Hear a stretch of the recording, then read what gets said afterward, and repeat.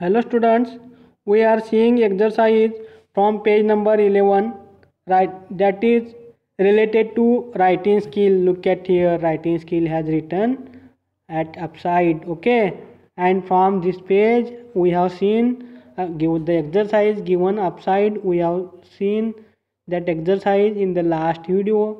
And now i am going to continue remaining part of the exercise. Here look at here question number second uh, page number 11 look at the picture and fill in the blanks.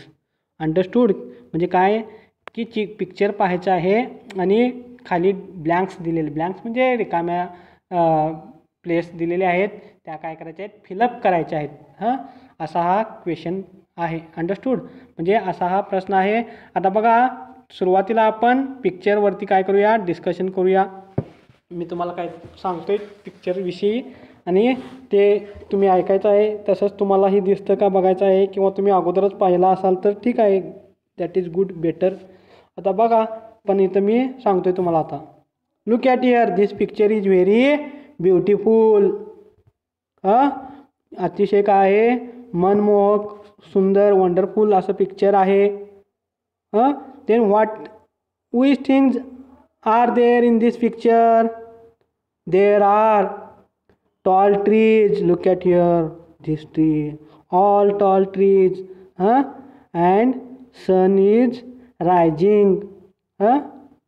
And it is in red colour okay म्हणजे सूर्य उगवत आहे आणि तो लाल रंगाचा दिसतोय बघा त्यानंतर बघा one beautiful house is there हाँ and aside the house there is a flow of water or river huh?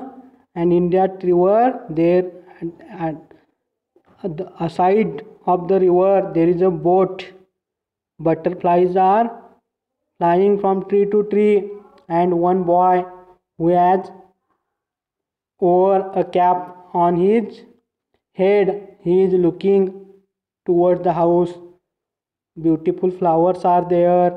All these things this picture is very view beautiful amazing हां म्हणजे बघा चित्र किती छान आहे.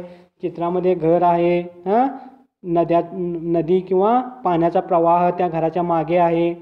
पाण्याला लागूनच काय आहे? कडेला प्रवाहाच्या कडेला एक बोट आहे म्हणजे नाव आहे. सूर्य उगवलेला आहे. उंचच उंच झाडे आहेत. सुंदर फुले उमललेली आहेत. टोपी घातलेला मुलगा घराकडे बघतो आहे. असं सगळं चित्र आहे. आणि आता नेमकं आपण तेच करायचं आहे. आता मी जे काय बघितलो मुलगा तिकडं बघतोय. हां किंवा सूर्य उगवलेला आहे. किंवा घराचा आता कलर जो आहे तो भिंतींचा कलर ब्ल्यू आहे.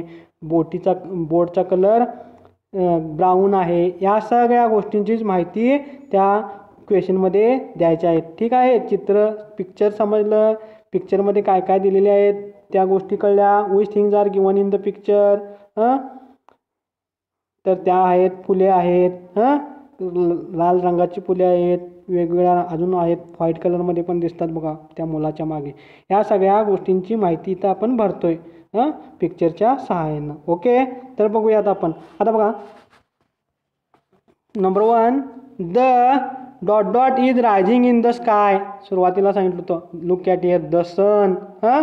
सकाळ सकाळी सन काय करत आहे म्हणजे दिसून येत आहे, उगवत आहे. द स्व that's why sun will come as a answer the sun is rising in the sky okay number two the boat is dot dot in colour look at here what is the colour of that boat the it हाँ is looking in brown colour B R O W N, brown. So here we have to write the boat is brown in color. B R O W E W N brown in color. The color of the house is look at here which color huh, is there on the wall of that house blue. So right here the color of the house is blue. The flowers are red in color. बघा mostly white पण आहेत इथं एकच colour द्यायचा आहे flowers are red and white in colour असं जरी म्हटलं तरी चालेल किंवा रेड इन कलर जरी म्हटला तरी चालेल. म्हणजे पांढरी व्हाईट पण कलरची पण आहेत रेड पण आहेत. ठीक आहे? आता बघा the birds are dot dot in the sky the birds look at here how many birds are there two birds are there and what are they doing they are flying in the sky so answer will be the birds are flying in the sky म्हणजे birds काय करत आहेत आकाशामध्ये भरारी घेत आहेत असं. आता बघा the butterfly is dot dot dot the butterfly is flying F L Y I N G flying from tree to tree म्हणजे आता बघा फुलपाक बटरफ्लाय आहे ह्या झाडावरून त्या झाडावरती काय करता येते बसण्याचा प्रयत्न करत आहे म्हणून त्याचा आन्सर कसं लिहावा लागेल? The butterfly is flying from tree to tree okay म्हणजे हा एक्झरसाईज मी आता आन्सर सांगितलेले आहेत विथ स्पेलिंग काही ठिकाणी सांगितलेलं आहे. त्या पद्धतीनं काय करायचं आहे? घरी मम्मी पप्पांच्या मदतीच्या सहाय्यानं ते पूर्ण करायचं आहे आणि होमवर्क चांगल्या अक्षरात लिहून तो सेंड करायचा आहे. ठीक आहे? आता पुन्हा बघा. Turn over page see page on number tell इथं काय नाही आहे फक्त ॲक्टिव्हिटी आहे फन प्ले आहे. थोडीशी आता आपण बघा या पाठाच्या किंवा टॉपिकच्या शेवटाकडं आहे. म्हणजे शेवट आहे. हां आत्तापर्यंत भरपूर स्टडी केला आपण. ग्रामर पाहिलं पोएम अभ्यासली सुरुवातीला. सुरुवातीला पोएम अभ्यासली हां त्याचा मिनिंग पाहिला. त्यानंतर क्वेश्चन आन्सर्स पाहिले ब्लँक्स पाहिल्या पोएमवरच्या त्यानंतर ग्रामरचा भाग पाहिला चित्राच्या सहाय्याने आत्ता जो बघितला. अशा वेगवेगळ्या कितीतरी ॲक्टिव्हिटी असंख्य ॲक्टिव्हिटी हां आपण या पाठाच्या आधारे पाहिलेल्या आहेत. आणि यातून तुम्हाला थोडं काय आता आपण शेवट करतोय आज हां या पाठाचा. थोडा गंमत जम्मत हां म्हणून काय झालेलं आहे? फन प्ले म्हणून या ठिकाणी काय ॲक्टिव्हिटी स्वरूपात, हाँ? तुम्हाला काहीतरी टास्क दिलेला आहे. तो काय आहे? मी सांगतो आणि त्या पद्धतीनं तुम्ही कंप्लीट करायचं आहे. ठीक आहे? आता बघा look at the objects in the classroom now follow the colour chart and colour these objects म्हणजे काय नाही आहे? कलर चार्ट आणि थिंग्स म्हणजे आपण क्लासरूममध्ये तुम्हाला माहीत आहे, हाँ? काय कोणकोणत्या गोष्टी तुम्ही वापरता? पेन वापरताय टेक्स्टबुक वापरताय स्कूल बॅग असते वॉटर बॉटल असते बुक असते बरंच काही असतं. हां? त्यातल्या काही मोजक्या गोष्टी इथं मोजक्या बाबी तर या ठिकाणी दिलेल्या आहेत. आणि त्या कोणत्या कलरमध्ये किंवा त्यांना कलर करायचा आहे त्याच्या सूचना दिलेल्या आहेत. आणि त्यानंतर या ठिकाणी चित्र किंवा पिक्चर दि दिलेलं आहे. त्या पिक्चर त्या म्हणजे त्या त्यांना काय करायचं आहे? कलर करायचा आहे. आता बघा colour chart number one book आता बघा इथं बुक कुठं आहे? खाली पिक्चर आहे. Book is on the table आणि ते काय करायचं आहे? कोणत्या कलरमध्ये खाली दिलेलं आहे सूचना?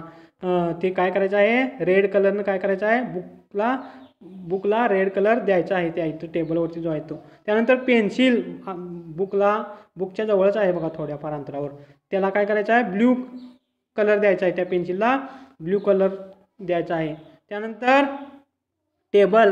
तो जे बुक आणि पेन्सिल ज्या टेबलवरती आहे त्या टेबलला काय करायचं आहे? ब्राऊन कलर द्यायचा आहे. आणि वॉल बघा ते भिंत तिकडं आहे बघा.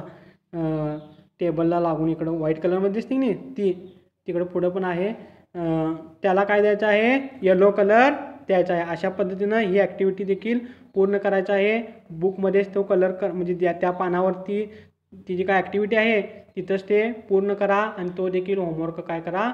सेंड करा आणि दोन्ही होमवर्क व्यवस्थित करायचे आहेत आणि हा व्हिडिओ पाहायचा आहे. आणि पाहिल्यानंतर आता मी सांगितल्याप्रमाणे होमवर्क कंप्लीट करायचा आहे आणि तो सेंड करायचा आहे. ठीक आहे.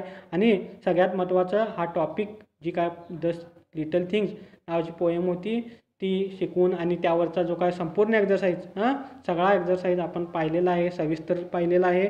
त्यानंतर राहिलेल्या वेळेत पुन्हा आपण पुढच्या टॉपिककडे जातो आहे उजळणीच्या वेळी पुन्हा आपण इकडं यायचं आहे. ठीक आहे? आता आपण थांबतो आहे ठीक आहे?